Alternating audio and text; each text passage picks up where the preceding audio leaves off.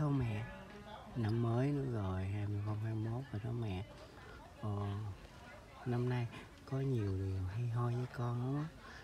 Ít nỗi buồn hoặc là do là cuộc sống này hồi đó giờ buồn nhiều rồi nên phải cố gắng chấp nhận nó để vui hơn.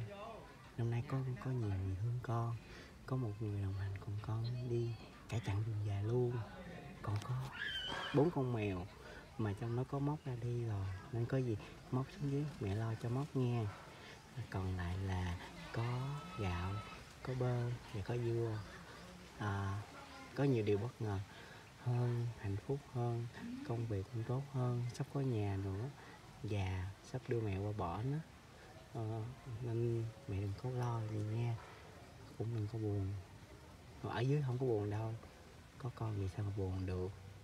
À, mong là mọi thứ của con đều tốt đẹp.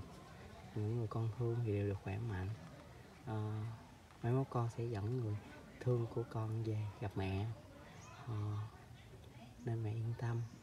Mẹ đừng có lo đừng buồn gì nữa. 2021 rồi.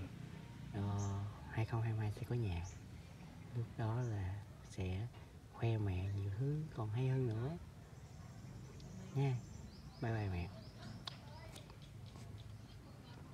Bye bye